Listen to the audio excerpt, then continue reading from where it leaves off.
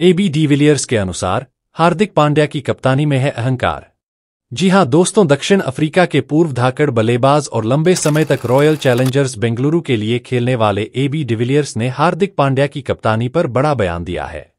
आपको बता दें कि आईपीएल 2024 का सीज़न मुंबई इंडियंस और उसके कप्तान हार्दिक पांड्या के लिए किसी बुरे सपने की तरह रहा है। मुंबई इंडियंस का प्रदर्शन इस सीज़न काफ़ी खराब रहा है और वह प्लेफ की दौड़ से बाहर होने वाली पहली टीम बनी। मैदान पर कई बार हार्दिक पांड्या हुटिंग के भी शिकार हुए और उनकी कप्तानी पूरे टूर्नामेंट के दौरान विवादों में घिरी रही है। अब दक्षिण अफ्रीका के महान दिग्गज एबी डिविलियर्स ने बड़ा बयान देते हुए हार्दिक पांड्या की कप्तानी पर उंगली उठा दी है। एबी ने कहा है कि हार्दिक की कप्तानी अहंकार और छाती बाहर निकालकर चलने से प्रेरित है और टीम के बहुत सारे अनुभवी खिलाड़ियों को यह पसंद नहीं आएगा। एबी डिविलियर्स ने अपने यूट्यूब चैनल पर कहा है कि पांड्या की कप्तानी शैली खासी अक्षरपन भरी है। यह अहंकार से प्रेरित दिखती है। मैं नहीं जानता है कि जैसे वह मैदान पर चलते हैं, वह हमेशा ही वास्तविक होता है, लेकिन वह यह तय कर चुके हैं कि यह उनकी कप्तानी का तरीका है।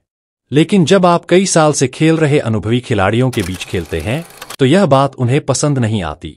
डिविलियर्स ने आगे कहा कि गुजरात टाइटंस के समय इस शैली ने काम किया था। क्योंकि यहाँ एक युवा टीम उनके साथ थी। कभी कभी युवा क्रिकेटर इस तरह की कप्तानी शैली को पसंद करते हैं। वहीं एबी डिविलियर्स ने मैच के दौरान हार्दिक को शांत मनोदशा के साथ हालात को नियंत्रित करने की सलाह दी है। उन्होंने कहा कि मुझे ग्रीम स्मिथ की याद आती है। वह हमेशा ही टीम के लिए उपस्थित रहते थे और बतौर युवा मुझे केवल उनका अनुसरण करना था।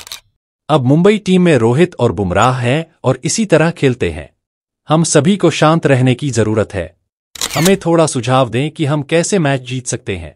हमें यहाँ अक्खड़पन की ज़रूरत नहीं है। मैं उनकी आलोचना नहीं कर रहा हूँ। मुझे उन्हें खेलते देखना पसंद है। मुझे उनका छाती बाहर निकालकर चलने का अंदाज पसंद है, क्योंकि मैं उसी तरह का था।